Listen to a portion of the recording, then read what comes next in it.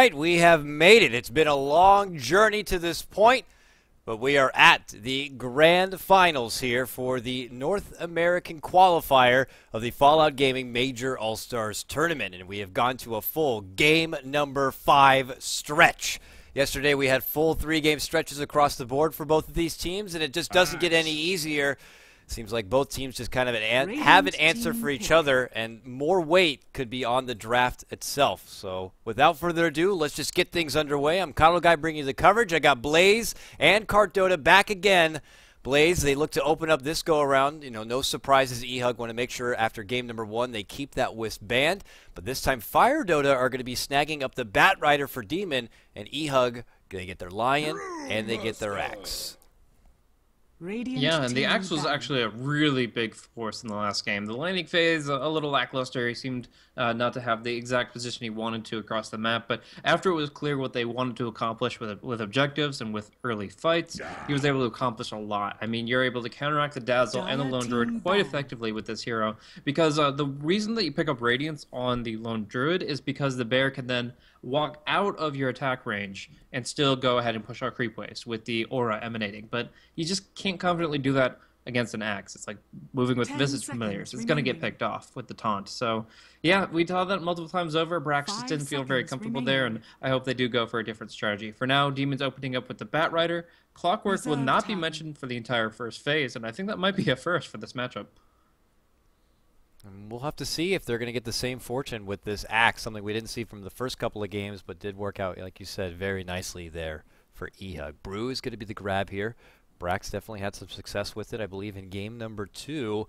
So we'll have to see what EHUG want to do to respond to that. They had already one time already grabbed up something like your Skywrath Mage as a direct response to try to really bully him back. Witch Doctor is kind of one of the other go-tos as a secondary support option, but more than likely it's something that Trouf is going to have to look to get for himself here. As far as the next banning phase, Fire Dota, they get rid of that Vengeful Spirit as a Batrider counter option, even though they already do have the Lion there. And then the Earthshaker as well, with its long range initiation and, of course, anti gank potential. EHUG removed the potential for Fluff getting his precious jungling Chen, and now they think a bit here as far as what the next option will be, and they will indeed remove Radiant the Skywrath Mage. So we'll see if EHUG decide very well to indeed go for something like the Witch Doctor as their secondary support option or not. I think that Slark is a huge pick here. I think if the Team EHUG is able to get their hands on it, if Fire Dota doesn't bend it out here, remaining. this could be what sets the tone for the rest of the game. Yawar can do so much work against Batrider and Brewmaster on this hero, and I'm actually terrified what it can be done in, in his hands in particular. Axe is a great counter to it, but on the same team, they could do a lot of work of just ganking constantly and kind of controlling the opposition. So I think that Slark is the pick. I mean, I've said that a couple times, and we have seen it come into play one way or another on either side. So I think that's that's what we're looking at. But you could always look into the Morphling. It's still going to be on the playing field and is pretty good against Batrider as well. Beastmaster band, but it's on the side of fire. We've only seen Beastmaster once today, and that was, I believe, in game remaining. number one for Fire, and it was unsuccessful. So Five this seems to remaining. be interesting to me, Blaze. I wonder if it's as a mm. precaution to something they're planning on grabbing time. up for themselves. Is there anything you could think of that Beastmaster would be like the go-to answer as far as you know per permitting someone to allow allow them to get something now that Beastmaster's off the field? I know he's got tremendous uh, presence in being able to scout out the map with his summons, and then also, of course, he's great against any sort of BKB dependent heroes makes me believe that well, I guess they're assuming they're going to go for some sort of BKB carry grab for Ush. Is that safe to assume? It just I feel like I'm caught off guard with the Beastmaster ban.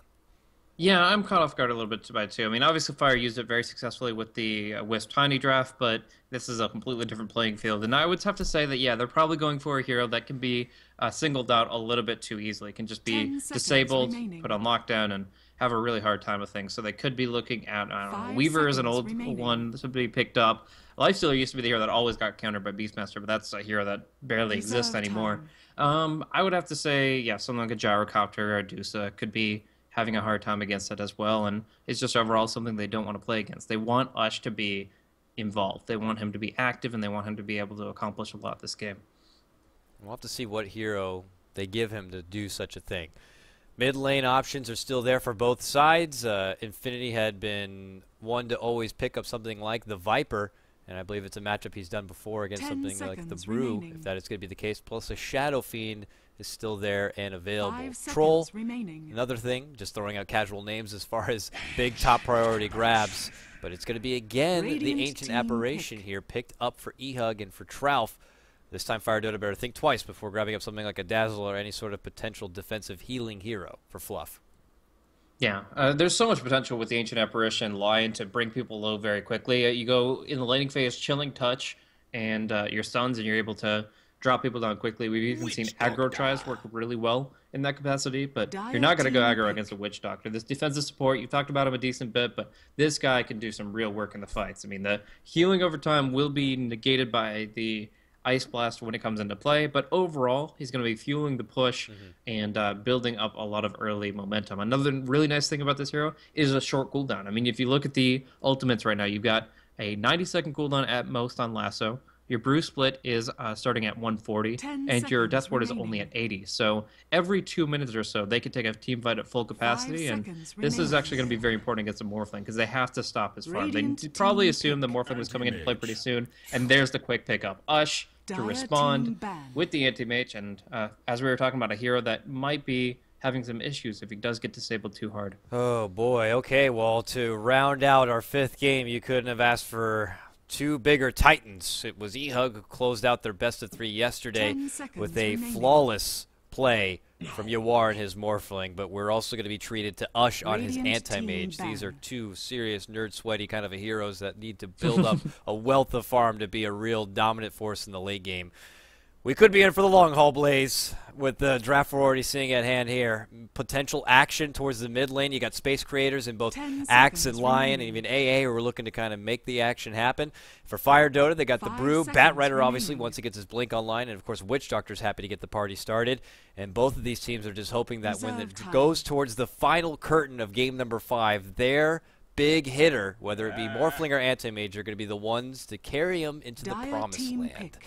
But we still need to finish this out. We need a mid laner or potentially Infinity's grab here for E-Hug. And on the side of Fire Dota, it looks like we're going to need Fluff's secondary support, or at least just the second support for Mad. Yeah, I think this one will go late, and I wouldn't have it any other way, man. I mean, we've been here all the way through uh, from the qualifiers beginning, and now here we've got game five of best of five. Remaining. If it's a nail biter down to the, the 60 minute mark, that is perfectly fine Five by me. It's getting a little remaining. late, but man, this is this has been some great days of Dota, and I am looking forward to closing it out in style here. Manta style for anti mage, maybe for Morphling, but uh, yeah, I mean it's a pretty awesome matchup to see between these two heroes. Obviously, we've seen it plenty in the past. TI one and two was actually pretty prominent. Morphling versus anti mage. The anti mage burns a lot of mana, which Morphling uses to survive for a very long time. But you also have to consider the fact that the replicant will negate a lot of the anti-mage's presence because he's going to get mana burned by the mana break, or one of his allies is at the very least. So it's a pretty scary hero for E-Hug to deal with. They have to make sure they build right on Yawar, and they give him a really good remaining. overall, well-rounded laning phase. So they're going to kind of have a pretty good matchup with the Puck Resolve going against time. Brew. The silence is really good. Potentially creating some openings with the Blink silence onto the anti-mage, following that up with Hex or the Call. We could definitely see some kills on Ush here, and that would definitely... Yeah give Yawar more opportunities to outpace him and farm. There's so much lockdown, so much CC that's already there for Ehug to, to hold someone like Ush in his place. Would you consider something like a support silencer here for maybe Fire Dota, so not allow Ehug to be able to easily chain together all this potential lockdown and team fight? Or because you need some sort of support backup here, not one to really bring in extra sustain with someone like AA, but I don't know. Silencer seems to be one that jumps out to me, but it's going to be the Rubick. So Rubick, obviously, there's fair options out there between Puck and Lion, and you know even the AA if you manage to snag the Ice Blast. But hey, Morph, no, hey, you, Morph. Yeah, yeah. I was about to say you you've gone through the list, but this is the yeah. counter pick. I have been hyping this since 6.83 hit. Rubick stealing Morph allows him to get this incredible HP pool. And if he just picks up anything with a chainmail, Medallion of Courage, he suddenly has a ton of effective HP. The Nullfield passive scales well, so he becomes this beastly tank you can't bring down. And then if he ever steals Adaptive Strike, he has this gigantic stun on his hands. The spells of Morphling are even better in the Rubick's hands than in the Morphling's hands for the most part. So it's it's gonna be scary if Fluff can really pull this one off. He is the counter pick you look for. I mean, AA is really good because you stop the morph. Remaining. ET used to be really solid because the natural order is great against stat dependent agility carries, remaining. but this Rubick could really be the game breaker. We'll see if that's the case here. Fluff will have the wits about him to get things rolling to take it right back to Yawar on that Morphling, but we've already know that this kid is an all-star when he gets a hold of this hero. That would, without question, say based on all the games I've casted from Yawar when he plays this hero, this is the one. This is his signature kind of a hero. Move over Lakels. It's now all about the Morphling Yawar. So with that, Ladies and gentlemen, boys and girls, it's game number five for the North American qualifier. Winner moves on and goes to the land in Malaysia. The loser, their road ends here in the Fallout Gaming Majors. So, without further ado, it's my pleasure to bring you the introductions. Radiant side, it's Fire, and we got Ush, who's going to be playing your late game core anti mage. We got Majka, also known as fucking Mad. He's going to be playing your Witch Doctor. Along the bottom, we got Fluff, who's going to be playing your Rubick. We got Brax back on his Brewmaster, and that leaves their offlaner, Mr. Demon, a.k.a. Jimmy, the Red Bull sponsor. He's going to be playing your Bat Rider, but we got an early skirmish coming out here, Blaze. E-Hug is already on the prowl. No real jungle heroes, but they would love to get that early first blood. Taking a page out of the Leviathan book with this, the five-man smoke. They got the level one fight potential with that chilling touch. They get a hold of someone, it could be quick work. Yeah, they waited for a while on the smoke, so it's still not dispelled, but it did take them a little bit longer to get to that position. They didn't get the movement speed buff for as long. Now they're hiding out. Radiant Observer, they don't see it right now, and the Hex Opener could be the death the of the Anti-Mage, but he plays it safe for the moment, doesn't go for the Mana Rune, knows that he has absolutely no knowledge of the enemy position, and uh, he knows how frequently I like to go for that aggro play. I just like almost foresaw like a, a, terrible scenario where he's blinks towards the rune, like, oh, I'm just gonna go grab that rune, and he blinks yeah. right across the full E-Hug team and hands over an easy first blood. But he plays it very hesitant and very safe. Nerves could be a thing here. I wouldn't be surprised if we see a flub here and there with so much at stake. But look at Matt. He is taking position in the mid, knows what is up to, does not want to allow him to get the early access to some of those CS in. Gets the secondary bounce on the cask, and this allows for a lot of early damage in on a hero who temporarily only has two shared tangos, and he has to use one of them. This is a really nice head start for Brax in the mid lane. I actually think that if the Brewmaster had skilled up the Thunderclap there, then the Morphling would have been forced to waveform or die, and that's a, a, really bad way to start off the laning phase. But in the end, he's still going to be able to just pull in some tangos and get some support from the Lion. We've got an aggro duel down bottom. It's actually going to be against Ush's Anti-Mage, uh, Trouth on the Ancient Apparition, MJW on the Axe, and they're going to be causing him some real grief. It's just a, a bit of magic damage here. He doesn't have the spell shield yet, so it ticks pretty heavily, and he's going to need some support. I mean, right now we do see Fluff is up top, uh, messing with Infinity, and uh, in the mid lane, of course, we are talking about fucking Mad. So, yeah, it's an interesting laning position. E-Hug looking for the try versus try down bottom with the axe, and instead just finding opportunities to suppress Ush in a different manner. Yeah, the, 2 on 2 happening here for now. I, I wager this is probably going to be played out at least until the two minute mark and the runes pop up. And you can see both sides look to make a big trade happen here. Getting a little bit of lag here. I'm not sure if it's just me or what, but it's a little choppy here, unfortunately. Hopefully it soothes over here in just a moment. It looks like it will. But with that, they make the return back. It looks like Fluff could be coming in from behind. Is welcome with the Ryu's Earth Spike stun. Telekinesis, though, does throw him back in. The Hex onto Brax. They want to finish him off. They get their first blood. It goes to Fluff. Rotation comes in from Trouth. And now Mad is going to try to heal the hell out of everyone with that Voodoo Restoration. Now they consider a turn back onto Yawar bullying him back a bit, and they're able to walk straight into a bounty rune. So it could be a good grab for them. And with that, it's it's Fire who strike first in this game. Yeah, it's actually quite surprising there, but the first blood comes out in their favor. Now, my question is, is this worth the fact that Ush has one CS? I'm not so sure. First blood is great. Getting kill momentum on Fluff is going to be huge, but Anti-Mage has such a hard time. He is actually pulling the creep wave away from the axe so he doesn't get spun while he tries to get his second of the game. Uh-oh. Nearby, we see Trouth and Mad go toe-to-toe -to -toe here, and Mad is very wounded. Brax is going to be forced to rotate over. But Trough has this haste rune, so he can just kind of step back and kind of juke and jive all he wants. But now he crosses past with Fluff. Fluff not looking to get telekinesis. No, he does. Last second, pulls him up and down. But there's still plenty of haste time for Trough to make it all the way back. But yeah, I'd have to agree with you. Ush is not getting the best deal out of this whole lane setup, having such little CS. Now at 3 CS, and Axe on the other side. MJW's at 19 and 8, the best of all across the whole field. So uh, it's a bit scary early on, even though Fire were able to get that first blood. The, the, the development early here is just not looking so good. Now uh -huh. Brax is going to be at his lonesome, but yeah, top. They're making the jump forward. A long orb back and behind here from Infinity, takes him to the low ground, six stacks. Oh, There's going to be the seven. He does get it in time, and now he's going to catch up with him and fly on top.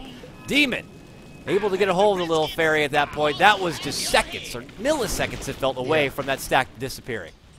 That was so close. Uh, it's a completely different situation between a one stack and a seven stack there.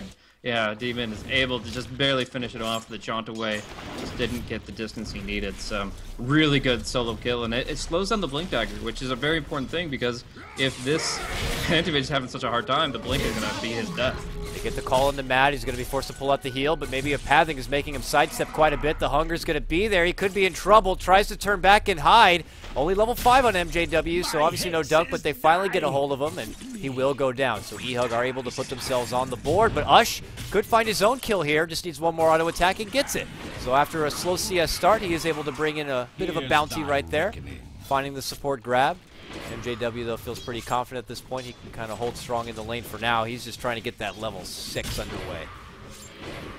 So they're getting some control back over the bottom lane. It's actually really important that they give the last hit to Ush there. Usually it's like, okay, it's a kill's a kill, who cares who gets it. But in this situation, Ush has been deprived so much that there was a point in the game where the Rubick had higher net worth than the anti-mage. They need to prioritize him getting back in the game, and they need to do it sooner rather than later. So they, they back off the lane for now. They try to go for some stacking, but uh, the big thing here is, of course, this Observer Ward was placed after the zero minute mark. I think it was like 130 or something. So that pole's going to be on lockdown for a very long time.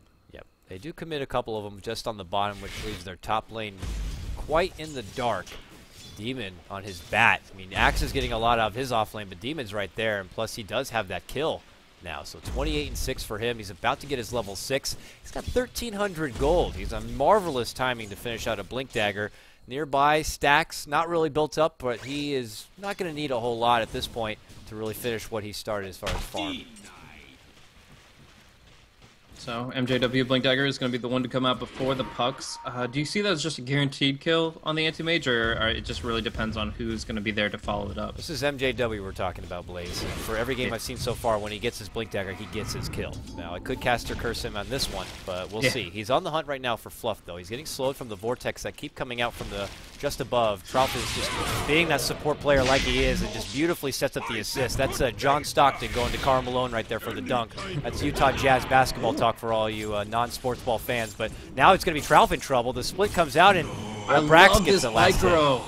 The Wind Panda judging where Axe is going to maneuver and finding two kills instead of one. That is insanely high level. And they get the second kill. The Rock is going to be there, but the split does end. But with Fluff showing up, it certainly does help.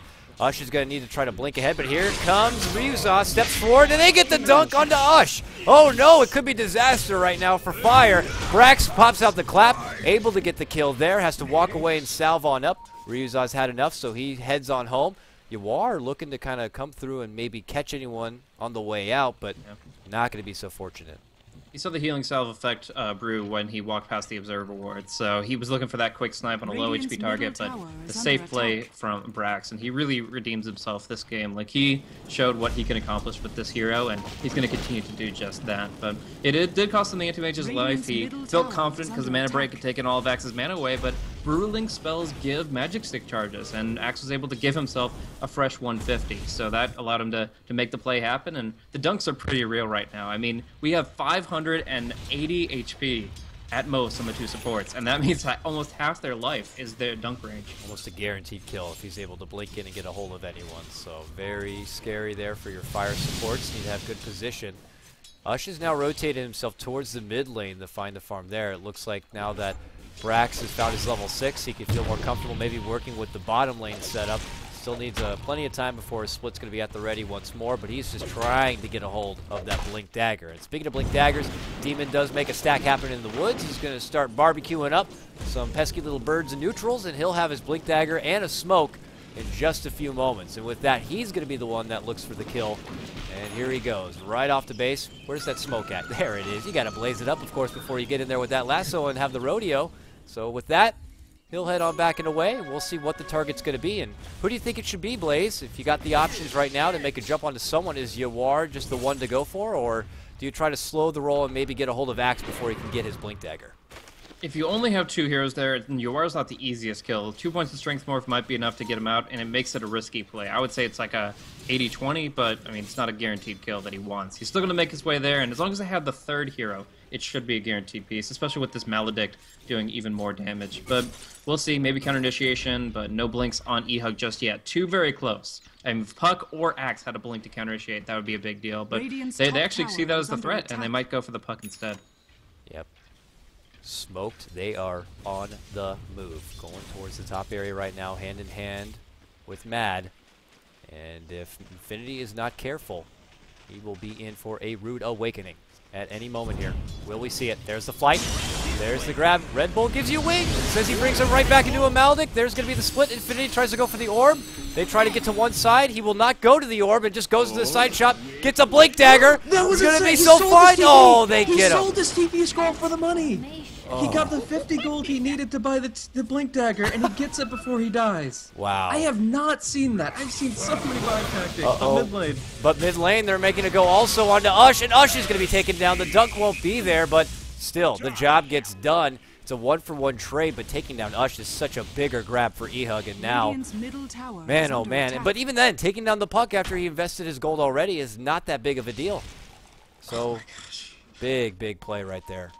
Kreygasm. That Good is just up. insane. Like I've seen selling items to buy items. Obviously, that's pretty standard when you just need to get an item at a certain point in time. But doing it in the heat of battle at the side shop, that's that's pretty new. Uh, bottom lane, we're gonna see the move in. Brax wants to use that blink, and instead the counter oh. initiation. Oh. They get the silence right away. Brax is able to get the split off, but he's coiled down. A coil used to kind of keep Brax back. But man, oh man, the Blink coming in to debut. Brax still wants to party here, at least with Trout. He has the Earth Panda out of there, though, just so he can make a clean escape. But they're not letting him go quickly. Oh, Blink forward, Blink back. Ooh. They barely dodge each other on that front. Brax will be able to walk away with his life, but that was an initiation attempt that unfortunately won't work out for him. So we see some really good movement across the map from EHUG showing what they can do with their blink daggers. They it's two blinks versus two blinks. They really had a rat race for who could acquire that initiation tool first. But it looks like the initiation is going to be on fucking Mad, and the dunks come out quick. EOR doesn't even get the chance to KS. Yeah, he's like, come on, man, I'm the Morphling. Let me get the Yeah, kill. actually, it is worth noting at this point in time, UR's farm actually he's taking some hits and won't go down, but it is a little risky.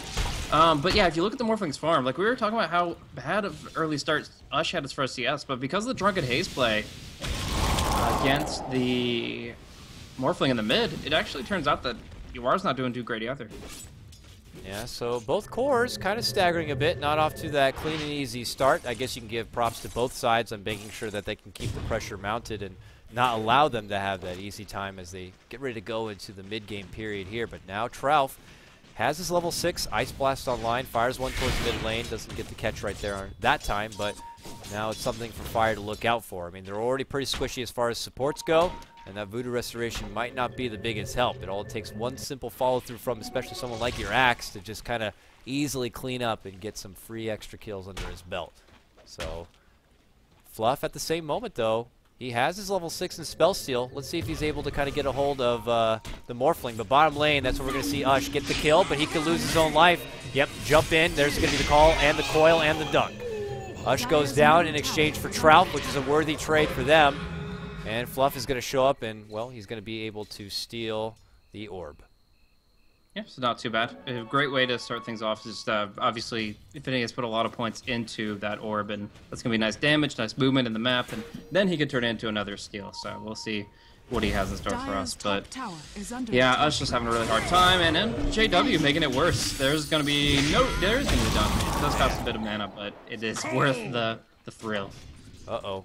He's not done yet. Doesn't really have the mana to do much about it, but top lane is actually a, a Bruce split. Bruce split to commit attack. onto the tower. Trouf goes down again, just kind of trying to find some side push. It's two times that Trouf was beaten so bad that I didn't even want to show the audience, so it's probably for the better there. But Brax is still able to get some shots in on the tower, and no one's looking to rotate quite yet. Instead, they're looking for their own trade here on bottom, going for the tier one. Meanwhile, mid lane, Ush and Yawar, the two late game Titans kind of go toe to toe.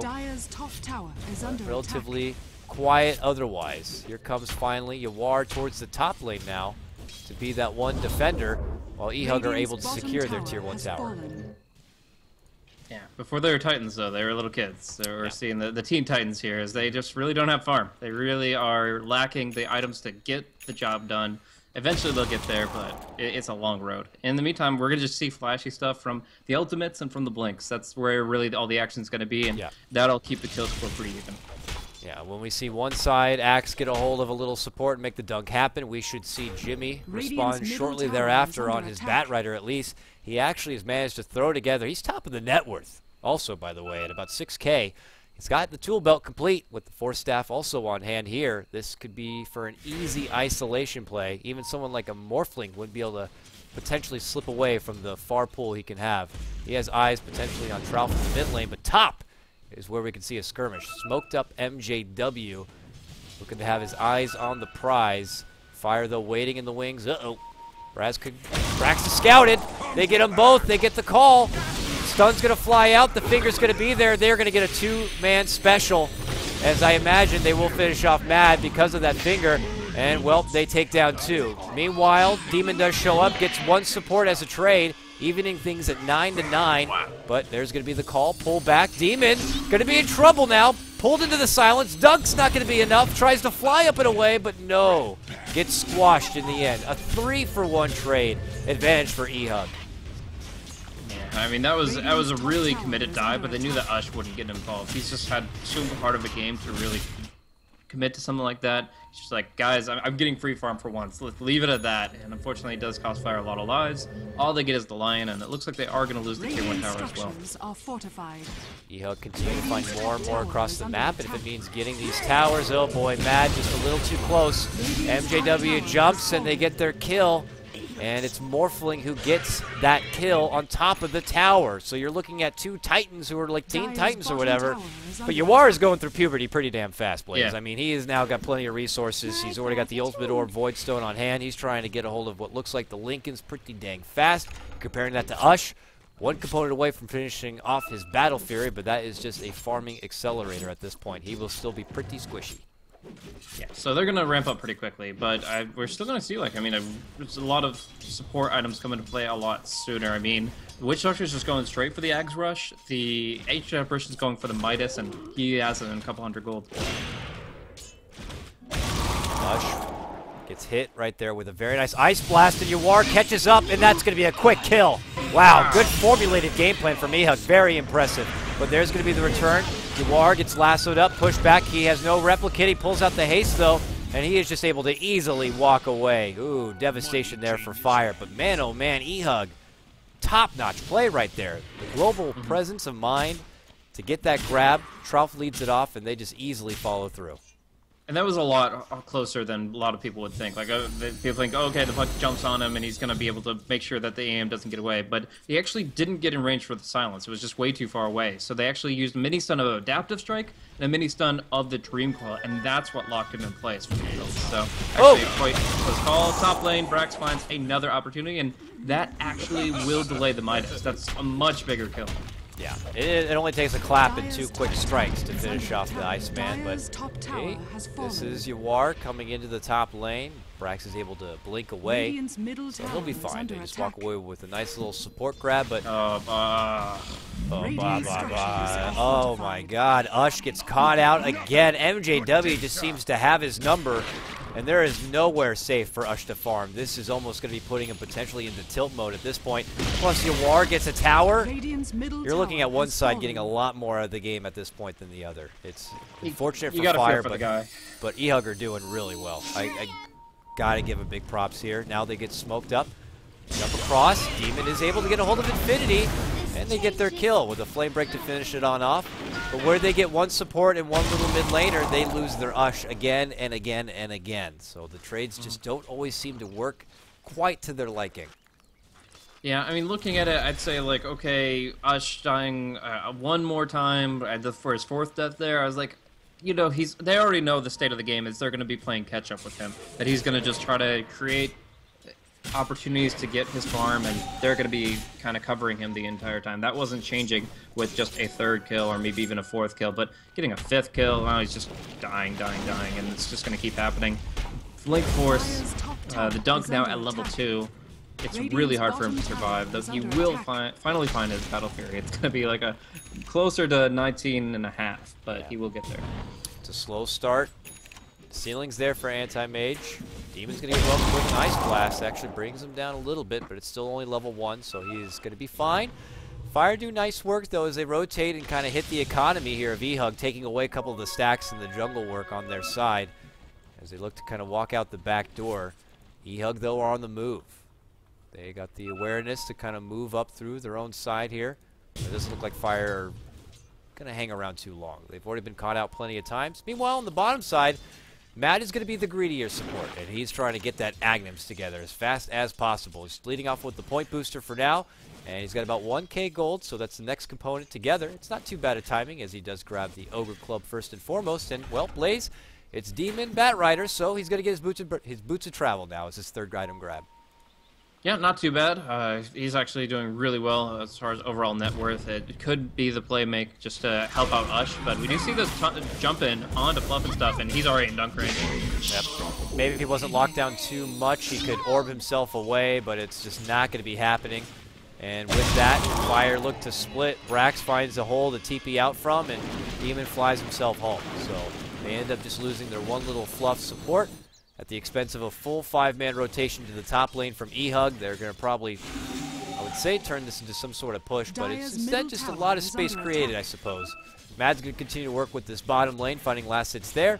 Josh is going to be working in the jungle, but E-Hug, man, they continue to find their kills. Not the craziest net worth advantage at this point, more than it would feel. It's only about 3k for them, but the XP is 5k, so that's where it really hurts. Yeah. Now, Yawar has two item builds on his Morphling, generally speaking. Actually, it's going to be a jump in onto him from Demon, who wanted a haste rune, but bottled up. It's Yawar to pick it up, and yeah, that's uh, just an annoyance there. But uh, bottom lane, the hit again, the Ice Blast, setting up the dunk, and this is, I mean, just so much kill momentum for him. He's going to have a BKB, and he's 9-1 and 4. Like, these kills are just going to keep rolling, and with it, the heads. Yeah, uh, similar to what we saw, like Yoki's axe performance in Star Ladder. It was quickly became ban worthy at that point when you see it really snowball out of control and MJW kind of channeling a bit of that or at least really impressing with his own that style. That BKB is going to be done in a moment's notice. They feel comfortable enough they actually move themselves into the Rosh pit at this point. If we look over the vision here, they've put in one ward towards the high ground side of fire to see if anyone is approaching. And for the side of fire, well, they don't really have an idea. They are in the dark. So this could be an easy behind-the-back play here from EHUG, and it looks like it will be. This Rosh is going to be dead. This is getting pretty ugly here. Yawar with an Aegis Immortal can do a lot of work here, and he's just going to go for his next item after that. Uh, I was looking at his skill builds and item builds for the hero, since obviously Yawar's Morphling is pretty intense, and the, the two that he goes for are, one is just the Linken's E-Blade opener, and then the other one is the right-click build that we saw yesterday. So in this case, he is definitely going for that Linken's E-Blade, and we just look at how quickly people can drop this game yeah. as a result of that. Like, we already see how dead the Rubick and the Witch Doctor are if they get caught by AA or Axe, but adding in the actual, like, one-two punch of the shotgun, I don't know if they can survive. Already, if uh, A blasts last, the shotgun's going to help seal the deal. Plus, it sets up for a good dunk. It's just a beautiful formula. They are able to get a hold of Infinity. They bring him back, and they finish him off. They can. There is going to be the double stud coming out, but meanwhile on the backside, you see Yawar able to get a hold of Mad. Takes down the Witch Doctor. But they potentially want more here.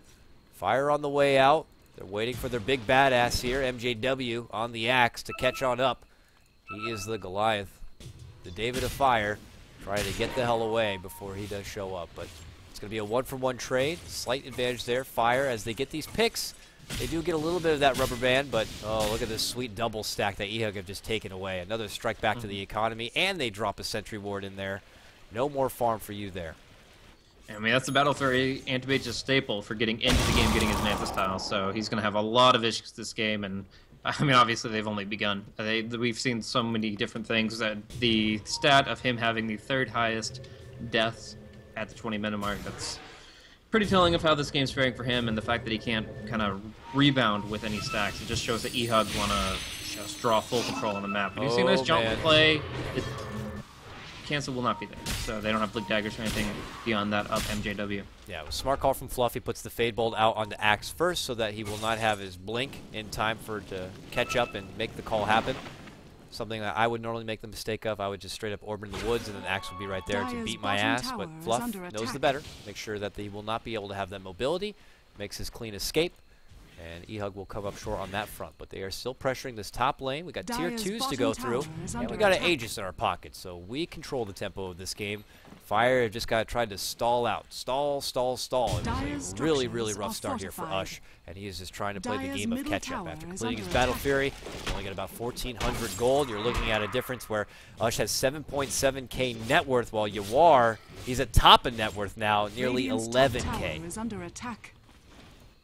brutal. They're all walking by an observer ward that's just outside. Uh, either is just outside the sentry range or it's outside of Fog of War at nighttime. In either case, they're not seeing it. Their vision is known, their movement is projected, and they're going to go for a counter initiation down bottom. Well, Ush is able to blink away after the blast. Brax is not going to be so lucky, and he is the target, and they take him down. E-Hug get their tier 2, and they rotate back, and they get the deny. E-Hug are just playing out of their minds this game, and they just have their eyes on the prize. A victory here and they secure their trip to Malaysia for the LAN to represent the America. And, well, if they compete like this, it's certainly well justified. But for Fire, a ragtag bunch of players, they have worked so hard to get to this point, and they do not want to let them have the easy fight. Ush has got the haste rune, so he will not be slowed down from that Hex as he migrates himself up to the top lane, just frantic to continue farming up. Yeah, I, have to say, they are certainly playing like it, that they really want to make this happen, that they are going to go to the event, but we will see. I mean, right now, MJW has picked up his third point in Culling Blade. That means 400 kill threshold, but they are getting some durability on their hands. Witch Doctor building up Aghs. The first two components are the health ones, so he's almost up to 1200. At least Dunk is only a third of his health. Rubick, on the other hand, he needs to skill more. Oh, nice jump call as they scout out Demon with that nice ward, and it's another easy kill. Godlike for MJW, the offlane superstar for EHUG. They secure also the tower. More gold as the rich continue to get even more rich. EHUG control the map now. They have such nice aggressive wards. It's like they're always one step ahead as far as what Fire's going to do. These two teams, I'm sure, have faced off so much in the past. They might not have faced off a whole lot here in the Fallout Gaming Majors, but there's Canada Cup, there's Dota Pit, there's the Scrims. They know each other very well, and they anticipate how they're going to play. And with wards like this, you kind of get the gist of that. Mm -hmm. And it feels like EHUG are the ones that have kind of just had their number, at least for game number five. Yeah, the wards are so smart. They've been very active about placing those aggro wards, and so far none of it has been really dewarded at all. They have complete map control, even without a Gem of True Sight to really force that. Now we see in the mid lane, fluffy stuff going down. Gets a Dream Coil of his own, but that's not gonna. That's just gonna be them sleeping easy. Actually, a nice Fade Bolt, dropping pretty low. And he will die to the fire. Oh, man, oh, man. It was very close there, but here comes MJW. He's actually already at half life. It could be a big bounty if they're able to grab it. And with Lasso still there, Meanwhile, Yawar able to easily bring down Mad, it looks like, but there's going to be the zap, and they are going to be able to finish the Lion. So it's a two-for-two 2 trade, but Yawar getting that kill makes it very, very sweet. He's 4-0-5. This guy has been flawless on his Morphling for how long now? I want to know, statistically, Cart Dota, how often this kid dies on Morphling, because it's not very often. It is yeah. probably a number that even Universe would shiver over. He's a guy who doesn't die very often at all, so... Mm -hmm. It's just ridiculous. Yeah, Morphling has one of the lowest deaths per game in general, yeah. but I think that his is far below average, which in this case is a very good thing. So, Ethereal Blade coming out, as soon as he got off the courier, he found a kill on the Witch Doctor, and that actually is pretty important, because the Witch Doctor is building up this Aghanim Scepter, as well as finding level 11. When that comes out, they have a chance to bring this back. Without the Aghanim Scepter, I'm like, oh, this, there's no chance in hell, unless there's the biggest story you've ever seen. But if the Witch Doctor stays so far back, you you can't even see him. and then comes into the fight after all the spells have been cast, he could devastate with that Death Ward. Yeah, he could, if maybe. Yeah. I don't know. These are just salts, like slim chances if Ehug happened to just kind of make a flub. But from what we've seen from them so far, they don't flub very often. Blaze. It's, is not easy to grab a hold of. MJW knows the targets he wants to go for and clearly can execute. He's 11 and 1 and 4.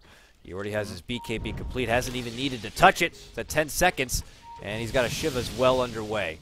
Yawar's average death on Morphling his four previous games is 1.3 average deaths on a Morphling.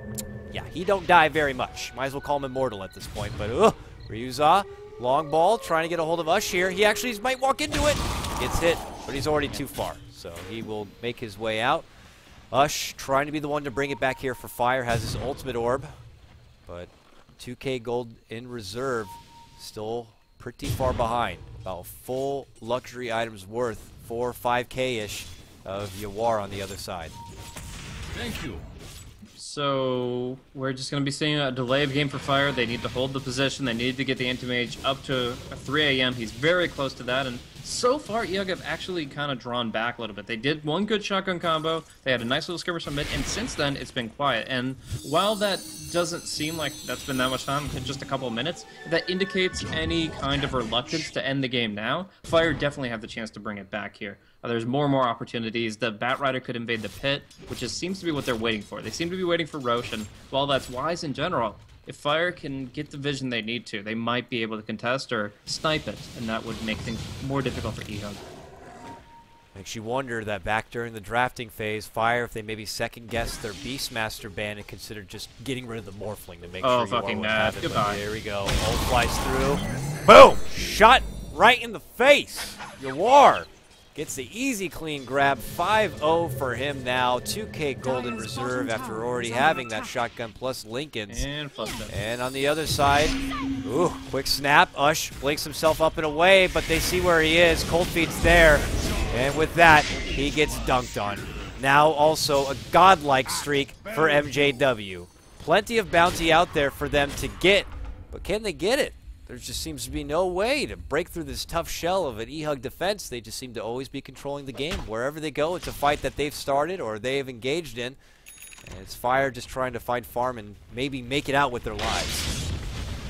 Yeah, in this position, I mean, you got the Shiva's Guard coming out for the Axe. You also have the Aghanim Scepter finally coming out for Tralf at level 11. A good time for it. And there's the Ice Blast flying away. So there was actually a close call with Yawar, almost bringing down the Rubick, but uh, we're going to see lots of mid.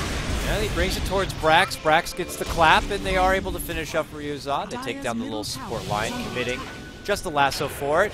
Shotgun takes Brax down to half-life. He's going to be forced to pull out the split as Puck almost got there with the silence. Now he puts his focus towards the tower. Meanwhile, Batrider, Demon, able to get a hold of Trout there, taking down the Ancient Apparition, but we're going to keep eyes on mid as they're going to make a hunt onto Brax and his little Earth Panda. Oh my god, where the hell am I going to go to get away from this one? MJW gets the call. And he is just desperate to run away. Oh. Blake's going to be there, so he's able to sidestep for now. Yules, though, catches onto the Witch Doctor, and Brax makes it out alive. Whew. Too close for comfort on that one. And at the end of it, Fire, hey, they walk away with two support kills, and they lose no one. Yeah, that was actually really close call. Though I think they should have been able to cancel the Brewmaster's Blink Dagger, but Brax gets a little lucky there and just hammers that key home, so he will survive. It's actually a nice steal from the Rubick, picking up an Ice Blast. It's not agsed up for him, but it's still extremely valuable and can really make things difficult for the Morphling, who's running full Agi at this point in time. We're going to see it used to scout the pit here, although it does debuff Lion. It doesn't really accomplish too much this time around. So no E-Hug. Still not too worried. They don't lose a whole lot. A couple of supports, which does feed a bit of that rubber band towards Fire. Oh, top lane. I see the back end of it. It's Fluff easily getting isolated from Yawar. It's just an assassination. Really nothing you could do at that point. Simple waveform forward and a shotgun blast, and you're Rubick. Doesn't matter what kind of null field you got, you're dead. So he gets dropped. Yawar now moving on 6-0 and 5. with that, Manta style. apparently, on Ush and his anti-mage. All right. Yeah. That's a. He's been rocking the cosmetics since minute one, but uh, yeah, that's that's a 32 minute manta. I want some stats on that. This is just not the timing you're looking for. Finally comes into play. It's the key to victory if they're going to be able to bring this one back. It's just been a long time coming. Finally online. now they get to move, and you got to wonder if a more defensive build could have been better to get him to this position. We've seen things like the Vanguard, Crimson Guard, or Vladimir's offering be the items to sometimes be picked up instead of the battle fury just to get to the Manta style. And I'm not sure how many deaths it would have prevented, but I'm assuming one or two. Looks like they're going to make a move into the pit for now, though, at least. They got it down to half life. Fire nearby. So here's Demon, one of the best. Being able to contest. Sees Trout, pulls him up and kidnaps him away from home. E-Hug are going to just finish what they started with the Rosh. But they'll at least will get rid of this ancient apparition. But will they walk away from this? They got plenty of mobility to catch up. Brax potentially caught out, has to pop out his BKB. They think about pursuing, but they opt instead to pull away. So Rosh now acquired here for Yawar. Top, top lane though, MJW able to get a hold of Ush as he's trying to split push here. Could go down, the dunk is a little too early. And Ush ends up snapping his own life in the coil. Almost like a noose right there. Infinity gets the kill, and they lose their AM. It would have been decent of a trade, even though considering they're losing the Rosh up to that point, but now losing the AM, he has no buyback for 50 seconds. E-Hug can feel pretty comfortable about pushing this mid lane. Yeah, it's actually so rare to see a, a Manta go past the 30 minutes after the Battle Fury. We see it actually only in 33 games, and yes, a few of them they have won. So there is some hope. There is some light at the end of the tunnel, but it seems very dim right now. Here they are. It's the E-Hugs group. They taste victory, and they're knocking at the mid lane front door of the Fire base. Now they make their jump onto Brax. Brax could go down without even getting a split off. There's going to be the split, but they get the lasso pull back onto Lion, take down Ryuza. And the first life of Yawar is going to be expended. Nice high ground start. It does cost them their death ward. Can they get Yawar down? They certainly cannot yet. He's able to wait from away. Morphs up the strength. Orb that's stolen is going to move on forward. Now they're trying to TP in. Boots of Travel's there with Demon. He is still alive. Get the hell away from me, Ush. Does the adaptive strike. Finally, he goes down. Brax loses his own life. Void flies out from Ush as he cleans up Infinity. And Fire put up a strong defense inside the middle high ground and look to clean up whatever they can. This is turning into a pretty big swing of gold their way the more they take. They get Trout as well, but the biggest bounty of all is this MJW Axe, man. If they can get a hold of him, that would just be swell. But he is already far away. Demon, though, still on the hunt. Does opt to step off. So, wow, wow, wow. The biggest fight for Fire pretty much all game finally comes at 35 minutes in when they're already down so much. It's a boost. Blaze, is it enough to give them back into this, or is that just one fight where they're going to need a couple more? Oh, I just spoke too soon. Ush gets oh, caught with the call finger and the stun. Mad, not much he can do here. Drops the Maledict and the cast. Locks him in place. Demon pulls him back. The Maledict curse is going to start stacking up. Ryuza is good as dead. There's going to be the flame break. MJW pops out his BKB and they start going man mode on each other here. Demon wants that bounty. Get the hell over here. He's got to be careful though. He's got two E-Hug members that are about to come back to life, so he will blink and TP home. Man, this has been pretty insane. Before the puck kill even came out, it was a 3,500 gold swing. It's just three heroes, but then they get a huge amount of experience over 4K, and uh, Rubick will be going down here in the mid lane. Just trying to something fancy. Uh, coil set up, and they easily just follow it up, tries to go for the TP. Yules is there, and Fluff just kind of gets caught trying to push in this mid lane tier 1, which is only at 90 life and in deny range. Trough could see it, step back and deny it, but I guess he's just going to wait for now. Yeah, so as to the question of whether or not that's going to be enough, this is uh, a really difficult position still for Fire. Obviously, the Golden Experience graph, the rubber banded pretty hard. Uh, they maybe got about a third of their disadvantage back. but at this point in time, it really comes down to how the non, non-carry heroes play. How Demon is able to farm for the next few minutes. If he gets that Refresher Orb, that is an item that can pretty much pronounce your late game in either case. But uh, the, also the Witch Doctor and his positioning with the Death Ward. Last fight, it was cleaving on two. That's plenty, as you're doubling the damage of a ve already very powerful channel spell. But yeah, we'll see if uh, they can continue to make those high ground holds, because that's where they have to draw the line. As soon as they lose the single lane of Rax, I, would say they're done. But never say never. Uh, at least if you're a Fire fan. Never say never. If you're an E-Hug fan, you're still feeling pretty good at this point. Duar finally gets his first scratch on the record, being six and one. but he is still sitting pretty here. Skadi, Ethblade, Linkens, his tool belt looks pretty damn stacked at this point as he continues to add pressure across all fronts. Plenty of split push tactics attack. in his arsenal if he needs to at this point, but he'll just continue to farm up as it stands for now. Trough doing his best, does the Ice Blast to the top lane to try to slow down Fire split push here, but Demon is taking flight now. He has the hook, but is not finding an opportunity to maybe make a go onto Infinity. So with that, they pull back, they get their tower, and in the meantime, they're going to make a jump on the mid lane onto Ush, and they could take him down. Adaptive is there. Does get the Manta off and will be able to blink away. Earn helps him out, and he makes it home. One of the few times we've seen Ush able actually to escape from an onslaught like that.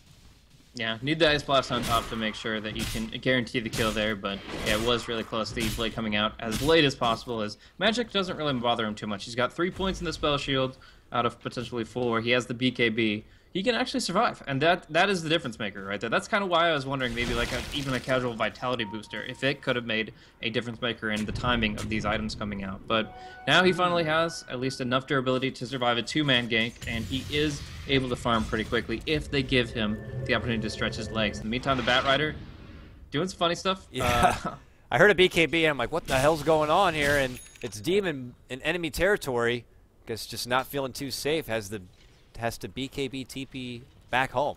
So his charge will be down. Now down to seven seconds at this point as he will help out this bottom lane. The rest of Fire might need to get the hell back here from this top lane set. that is just pretty deep at this point. He's got a TP scroll, man. You're making yeah. me nervous. Might want to consider using it here. Trouble approaches here. Trough is first on the scene to scout it out, but Ryuza is en route. Surprisingly enough, this Lion not able to throw together a Blink Dagger quite yet, even considering all the objectives and towers they've already taken down in the Rosh. Hasn't been able to pick up his mobility item. I know that they put a lot into the farm for Trough, but I figured at least by now he'd be able to have at least a Blink Dagger. Yep, you are absolutely correct. We do see a Battle of the Titans back and forth. Yawar versus Anti-Mage doing a few hits there, and the Replicant actually expired. But the top lane is where the kill is going to be, and Brax popping the BKB. You can just keep oh. keep blinking, keep TPing, but fucking mad. Will just buy out his item before he falls. MJW, just nowhere you can go, buddy. Sorry. Unleashes his call, and Mad's like, okay, let's fight. I don't need a TP. And with that, he gets dunked on, and I feared the worst if you had someone like Mad just kind of lingering around too long on that top lane and they end up paying the price. 23 to 28 here for game number five. Final match, the final series here with the NA qualifier. Demon steps back, returns to his farming pattern. Now he's got the perseverance. Is he going with the refresher buildup that we see sometimes here on your Demon Batrider Dota? Or is it really necessary to get something like a Linken's just to help out your AM? It's probably not a time to worry about your anti-mage anymore. Like, you can't invest in him for team fights. You have to just uh, kind of do your own thing. You invest for the Refresher Orb for your Batrider to get the double lasso off. You invest in the Shadow Blade for the Witch Doctor to make sure that you can get the Death Ward off more often than not. Waning Rift, Earth Spike, and Berserker's Call can still cancel it even if they don't see you, but it's it's much more reliable. You are they well, they want to go for this two versus one play again in mid, but there's no Ice Blast, so yeah.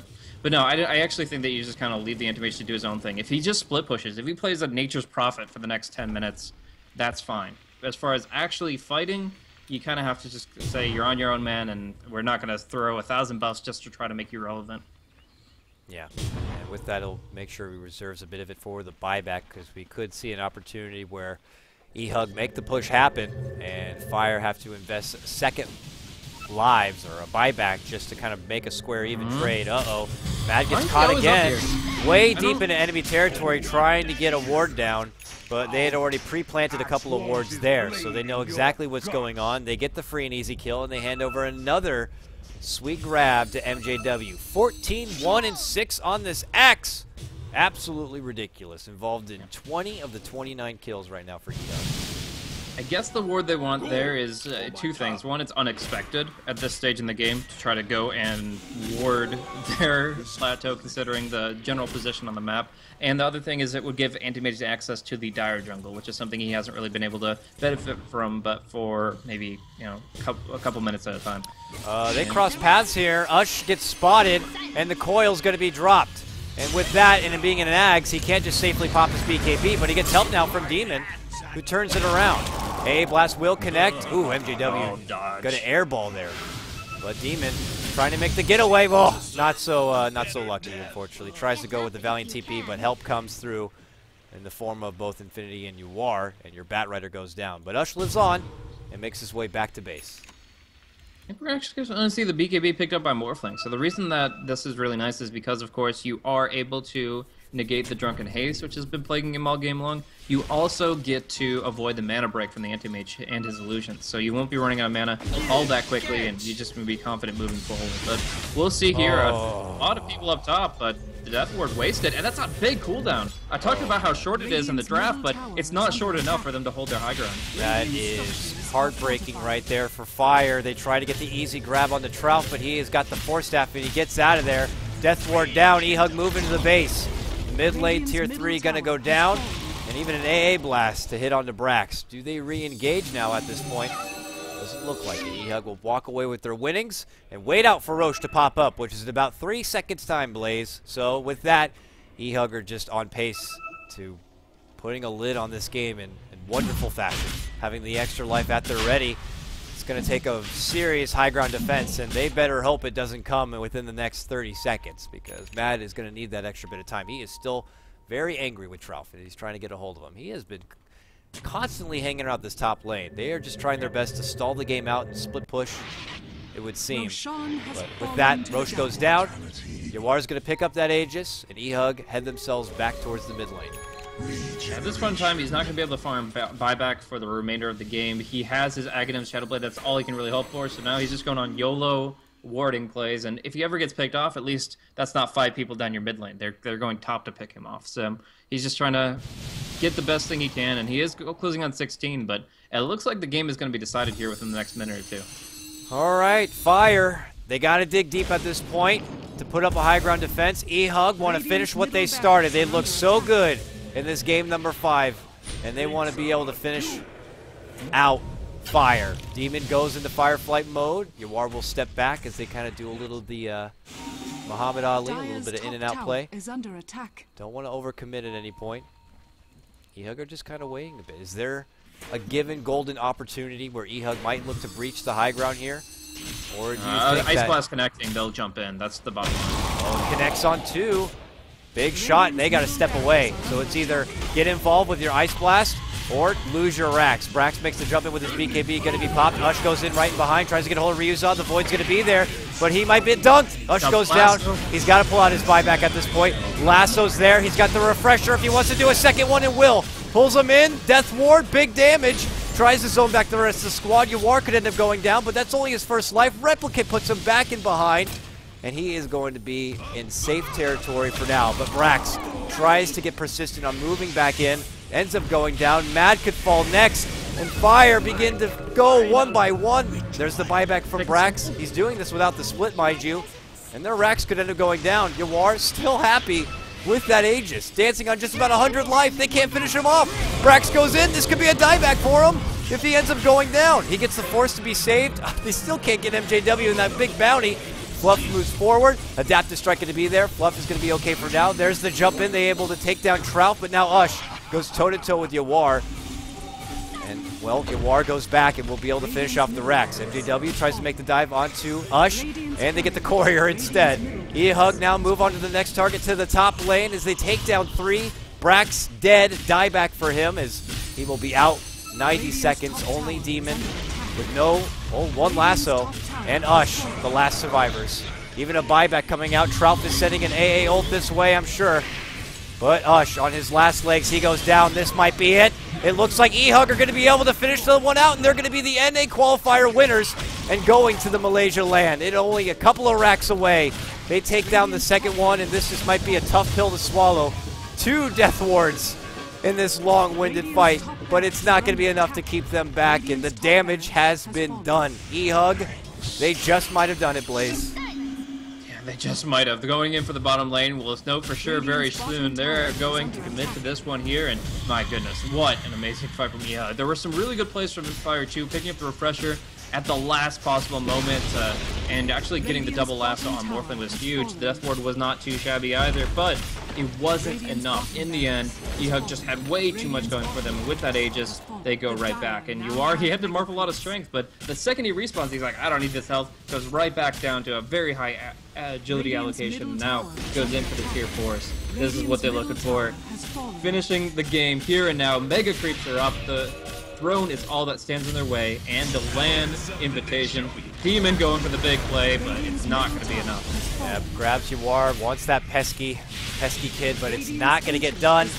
Shrine is going to be attacked, and Fire can't do anything about it. They will be extinguished, put out, drowned, whatever you want to say. E-Hug. They are going to be your North American representatives here for the Fallout Gaming Majors Dota 2 All-Star event. They have secured their trip now to Malaysia, and props to them. And also, of course, props to Team Fire. They had a good, solid run all the way through the bracket to this point, but unfortunately, it's just not enough. Both teams really sweated it out all the way to game number five. Couldn't ask for anything better, Blaze, but we have done it. we have done it. Most definitely. It really is just uh, rising from NEL, going in with this pub stack mentality, and they have really become a team in these past few weeks. They have really shown what they can accomplish together, and I can't wait to see what they can accomplish over on a foreign soil. So we'll see. But for now, it's been a tremendous victory for them and a tremendous series of games. Uh, I would recommend watching all of them because uh, there hasn't been a single E-Hug game that I was not just entirely impressed by a, a ton of their a performance, a ton of their decisions, and in the end, uh, they carry it, they take it away, and they deserve every minute of glory here. Yeah, a lot Good of people uh, give a flack to some of these tier two teams as if they might not be able to hold their own, but we'll see. And I sure enough will be rooting for E-Hug there in the majors to see if they could be like the next Rave or the next you know team to really contest something like EG. It seems really far fetched right now, but you can just see the talent is there props to MJW, props to Yawar. They are very, very talented players and pretty much the whole squad. I mean, this was a team that kind of faltered a bit, but with these couple of new stand-ins here, Trouf and Yawar, they showed a lot of great skill. So we'll go ahead and wrap things up. Folks, thanks for coming by and hanging out. It was a pleasure casting and going all the way through the NA qualifier, but that wraps things up. With that, it was a pleasure. Beyond the Summit, bringing you the coverage. We have more Fallout uh, majors actions coming your way. European qualifier, China qualifier are going to be coming up in the near future. And beyond the summit, we'll be bringing you the coverage. I myself, KotLGuy, show me some support over on my Twitter at KotLGuy. Blaze, show him some love at Blaze Casting, and our stats man at Cartdota. Folks, take care. Enjoy the rest of your day and the rest of the Dota. We'll see you next time.